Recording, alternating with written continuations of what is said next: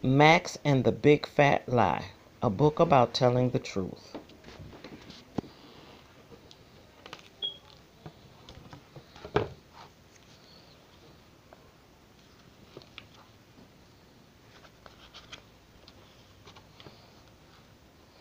Max's friend Steve had just got a movie.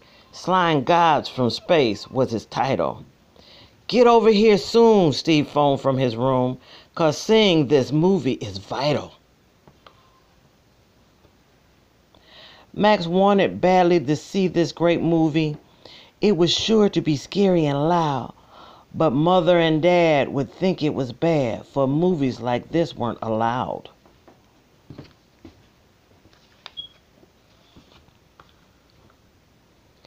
Max did his best to think of a plan.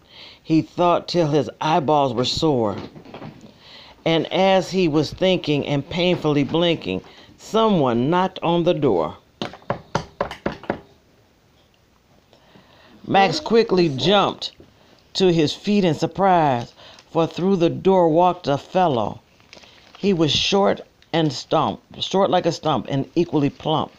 What's more, he was purple and yellow. Good day, my dear chap, said the short purple creature. You're caught in a fix, I'll agree.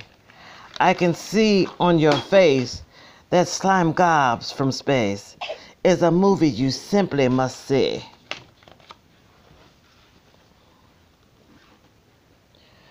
My name is Sir Fib, and I think you'll find my service tends to be handy.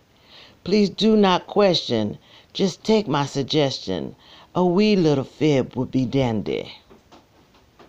Go tell your mother you're going to Stevie's, but change the show's title a bit.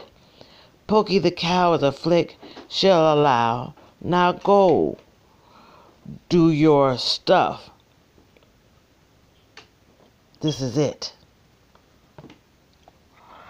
Of course, Max's mother would truly was truly delighted. Pokey the cow was a, would be swell. It sounded so good that if Stevie's mom could, the two moms might watch it as well. This was a shocker for poor little Max. He hurried upstairs nearly crying. If mom came along, the whole plan would go wrong and Max would be punished for lying. Sir Fib looked disturbed as he listened to Max. He said, This one's too big for me. But I'll have a friend for whom I can send. He'll know the answer you'll see.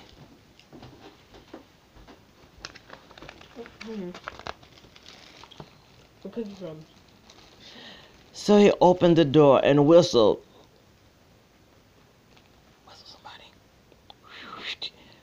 It took It took a second, not more, for a tall, lanky guy with a with a dark, shifty eye to quickly slip through Max's door. Yo, kid, said the guy, I'm Cleaver Deceiver, and Fib here has told me your story. I got what you need, and I think you'll agree that deceiving should wipe out your worry. Go tell your ma that you just changed your mind and you're to play basketball with Steve. She'll fall for the trick. Then you go watch the flick. It works every time, kid, believe me.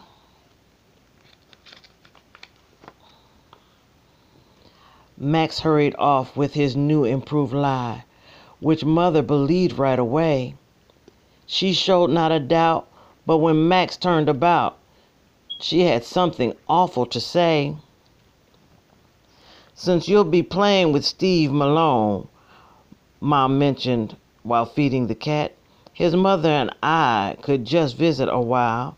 I've been meaning to stop for a chat. Max felt quite ill as he slithered upstairs. This was a problem indeed. If mother dropped by, he'd be caught in his lie, which was growing as fast as a weed.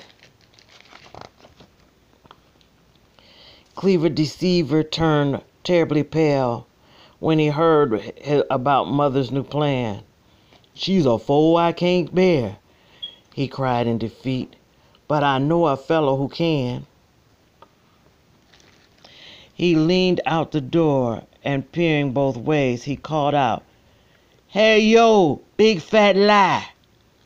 And soon came a rumble, a thump, and a stumble that felt like a train rolling by. The creature was giant, all green and red spotted. It just barely squeezed through the door. When he sat on the bed, the whole house shook instead, and the mattress sank to the floor. So this is the kid with the problem, it said, a problem that I'll take away. My name's Big Fat Lie, and I'll tell you why. It's because I know just what to say. Go tell your mother that Mrs. Malone got the Mongolian measles. There's phone disconnected, her toe is infected, and the house has just been treated for weasels. Tell her you'd much rather pedal your bike than have your mom give you a ride. Then she won't know where you boys really go, watching the slime gobs inside. Why? Plodding his way down the stairs, Max recited. He practiced his new big fat lie. His kneecaps were shaking, his stomach was quaking, but he had to give it a try. Mother, he said as he tried to stay calm, I fear that there's been complication. Mrs. Malone is no longer home. She's gone off to visit relations. Their phones disconnected, their poodle got sick, and their home is attacked by a shark. So Stevie and I just changed our minds. We're going to ride our bikes in the park.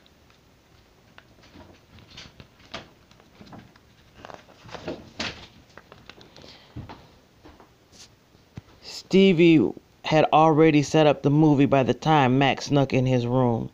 They pulled down the shade and built a blockade, and the room was dark as a tomb.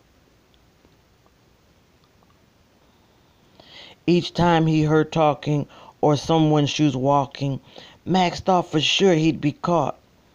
He was still in a worry. The movie seemed blurry. It wasn't such fun as he'd thought.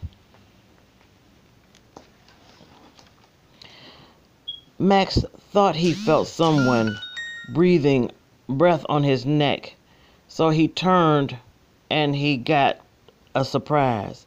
It was Sir Fib and Cleaver, the clever deceiver, but the breath that he felt was the lies. After a while, he could take it no more. He jumped to his feet in a panic. He raced his bike home but he wasn't alone, for the weight on the bike was titanic.